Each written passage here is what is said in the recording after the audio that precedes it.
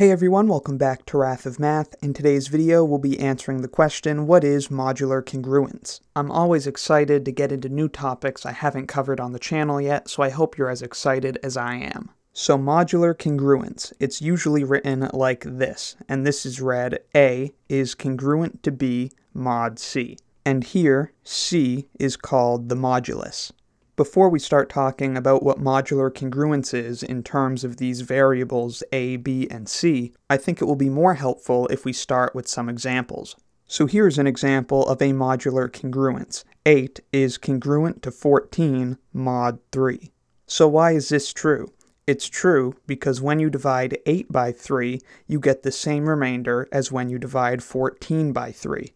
8 divided by 3 gives a remainder of 2. 14 divided by 3 also gives a remainder of 2. We can see this is true because 8 is equal to 2 times 3 plus 2, so there you've got your remainder of 2, and 14 is equal to 4 times 3 plus 2. So again, we've got a remainder of 2. So since 8 and 14 both have the same remainder when divided by 3, we say that 8 is congruent to 14 mod 3. So hopefully that gives you a decent idea of what modular congruence is, but let's look at another example. Another congruence is that 4 is congruent to 16 mod 6. We see this is true because 4 divided by 6 gives a remainder of 4. 4 is equal to 0 times 6 plus 4. And of course, 16 divided by 6 also gives a remainder of 4. 16 is equal to 2 times 6 plus 4. So just as before, since 4 and 16 both have the same remainder when divided by 6, we say that these numbers are congruent mod 6. Also, something important to note is that modular congruence is an equivalence relation.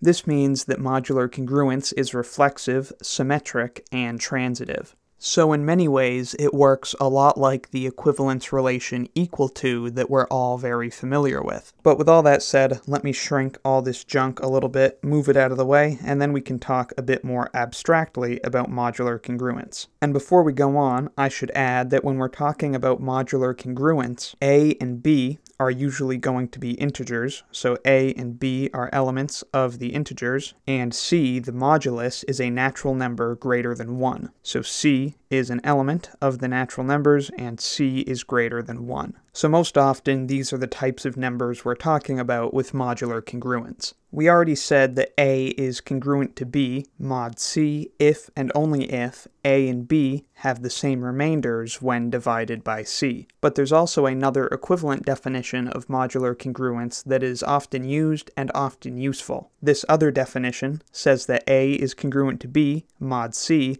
if and only if C divides A minus B. This notation, c divides a minus b, just means that a minus b is an integer multiple of c. The two definitions we have stated are equivalent definitions, but I think this one is a bit less ambiguous because the other definition uses the word remainder, and people don't always mean the exact same thing by the word remainder. So let's see this definition in action. We already said that 8 is congruent to 14 mod 3.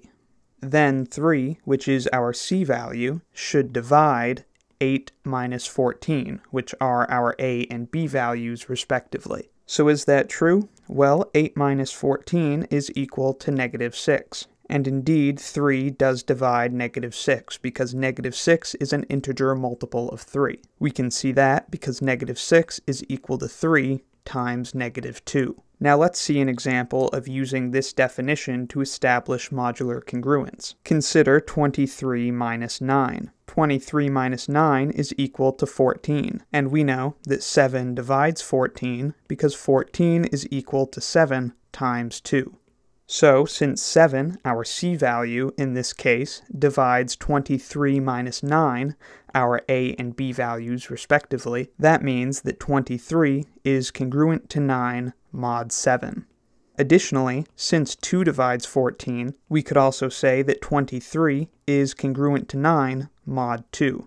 Also, 14 divides 14, so we could say that 23 is congruent to 9 mod 14. Again, this is because 14 2, and 7 all divide 23 minus 9. To refer back to the first definition we stated, 23 divided by 14 has a remainder of 9, and 9 divided by 14 also has a remainder of 9. And the same sort of thing is true with these other examples. So those are just a few more examples of modular congruence using this other definition. Let me shrink all this stuff down a little bit, and I'll, I'll hide this up here, sneak it up here in the corner. I think we should briefly touch on modular congruence with negative numbers before we go, so here is an example of that. Negative 14 is congruent to 2 mod 4, because negative 14 minus 2 is equal to negative 16, and 4 does divide negative 16 because negative 16 is equal to 4 multiplied by negative 4. But what if we were using the other definition that involves remainders? How would we be able to conclude that 14 is congruent to 2 mod 4 using that definition? Well, what is the remainder of negative 14 when divided by 4? The remainder, in this case, is positive 2, because negative 14 is equal to 4 multiplied by negative 4 plus 2. And you might be thinking, well, wait a minute, negative 14 is also equal to 4 times negative 3 minus 2, so why isn't negative 2 the remainder? Well, in this context, if we have a number a divided by c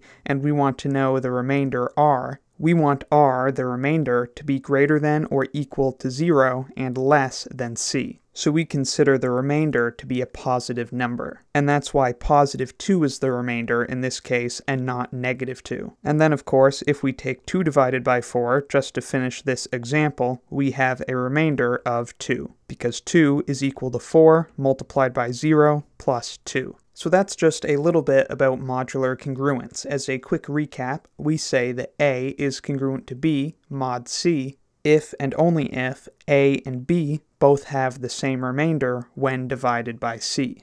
Equivalently, A is congruent to B mod C if and only if C divides A minus B. There is a lot more we could get into regarding modular congruence, like modular arithmetic and all sorts of useful properties regarding modular congruence. But for now, we'll call it a day, so I hope this video helped you understand what modular congruence is. Let me know in the comments if you have any questions, need anything clarified, or if you have any other video requests. If you'd like to see more videos on topics related to modular congruence, let me know and I'd be happy to talk more about it. Thank you very much for watching, I'll see you next time, and be sure to subscribe subscribe for the swankiest math videos on the internet. And a big thanks to Vallow, who, upon my request, kindly gave me permission to use his music in my math lessons. Link to his music in the description.